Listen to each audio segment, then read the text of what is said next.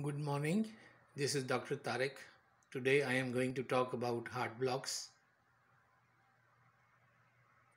Some people complain of uh, dizziness, syncope,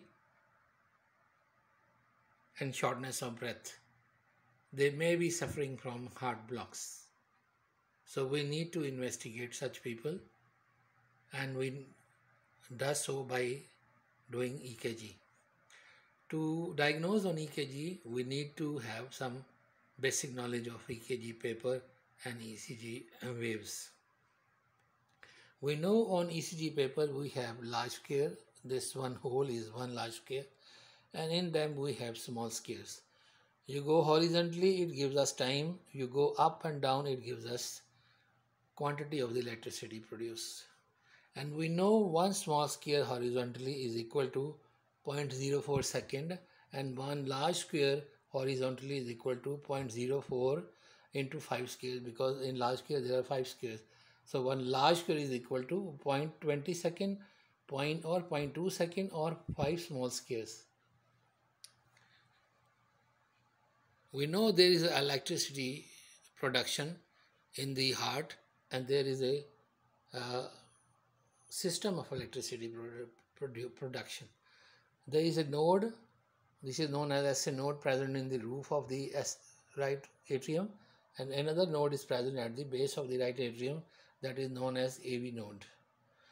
They, and they are connected by these blue, they are fibers, internodal fibers.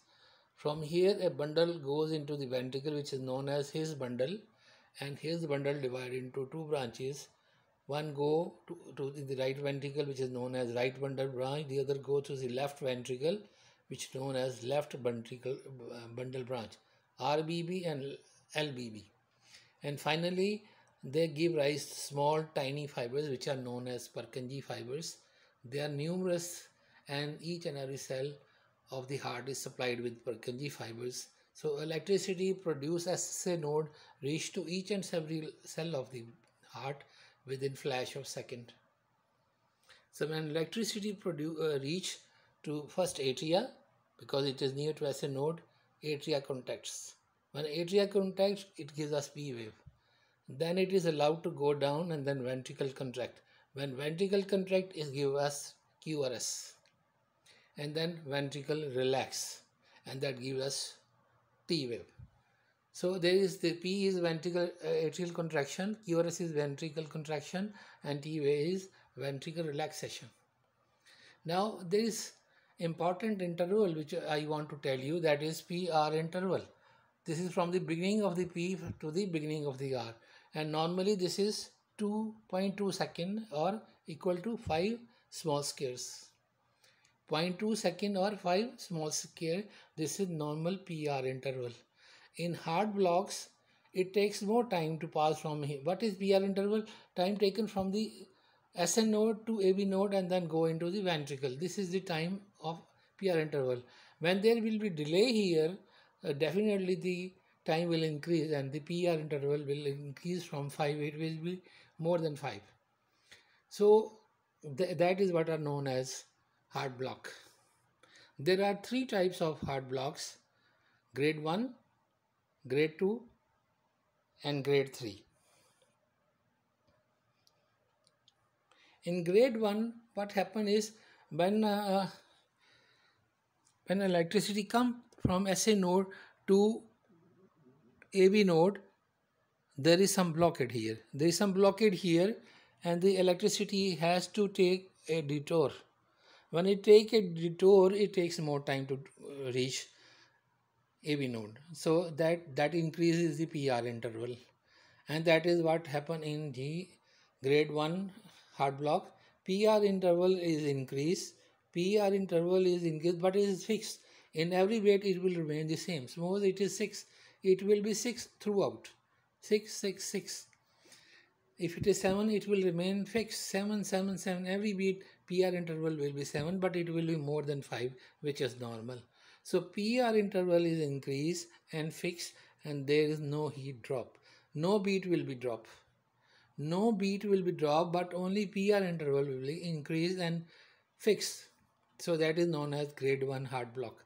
In grade 2 heart block, there are two types. One is, number one is known as Wenckebach. Wenckebach phenomena. What happened in Wenckebach phenomena? A, a wave electric impulse come and is blocked at AV node, so it take a detour. And next come, it take another detour. And the third one come and it take another detour. So every time PR interval is increasing and finally one is not allowed to go down. So three or four will go and the fourth or fifth will not go. But in the uh, in the meantime, the detour will increase and PR interval will increase. So in Wenckebach phenomena, PR interval is progressively increased. It will be 5 in 1, second in 2, uh, 6 in 2, 7 in third, and then finally 1 QRS will be dropped.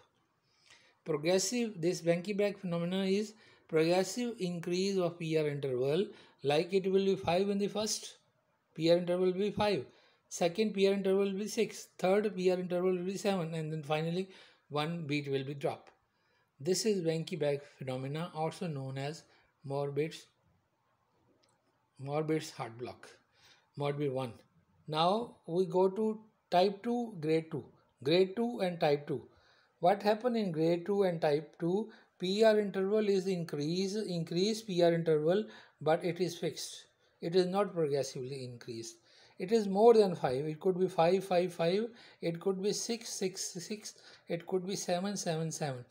PR interval is increased more than 5, more than normal, but it is fixed. It is not progressively increasing 6, 7, 8 or 5, 6, 7. No. If it is 6, it will be 6, 6, 6. If it is 7, 7, 7, 7, it will remain the same. If it is 9, 9, 9, 9. And finally, one, one beat will be drop. So this is the uh, grade 2 type 3 heart block. Now the th uh, third, grade 3. In grade, grade 3, there is complete uh, blockade of the complete blockade of uh, the electricity at AV node. No electricity is allowed to go down. So atria will beat at its own and b ventricle will beat at its own. And we know the inherited property of atria to produce electricity is 75 uh, impulses per minute. And uh, capacity of the ventricle is to produce electricity at the rate of 20 to 40 beats per minute so atria will have different uh, uh, speed and ventricle will have different speed 75 atria and ventricle 20. So they and there is no co correlation between P and QS. We know normally every P wave is followed by QRS and every Q wave is preceded by P wave. But in the third degree heart block, there will be no such relation between P and QR, QRS. You will see a, immediately after P there is QRS or there is QRS just before the next beat or there is QRS in between. So there is no relation between P wave and T wave. This is total discorientation. And uh, uh, this is known as third degree heart block. Atria beat at the speed of 75 and ventricle beat at the speed of 20 to 40. So summarize once again in grade 1 PR interval will be increased but fixed 5 5 5 if it is 6, 6, 6, 6, there is no beat drop. So PR interval is increased but fixed and no beat will be dropped. In grade 2 type 1, which is also known as Wenckebach or Morbitz 1 there will be a prolonged PR interval and that will be fixed. It will not be 5, 6, 7 or 7, 8, 9 or 8, 9, 10. It, if it is 7, it will be 7, 7 and 7.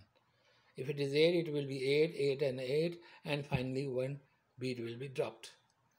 This is type 2, grade 2, type 2 or also known as Morbitz 2 heart block. Now the third is uh, uh, complete heart block or grade 3 heart block. Though electricity is allowed to pass the AV node, so atria will beat at its own and ventricle will beat its, at its own. Total disc uh, orientation. there is no relation between P wave and QRS. P wave have 75 per minute speed and ventricle will have, QRS will have 20 to 40. So that this is all, all about heart blocks. Now a little bit about the reasons. The causes of the uh, heart block will be cardiomyopathy or it could be structural abnormality, abnormality. it could be increased vagal tone or it could, could be uh, medicine like uh, calcium channel blockers or beta blockers or digoxin. Majority of the heart blocks they are benign but some of them are dangerous and need to be treated. So thank you very much.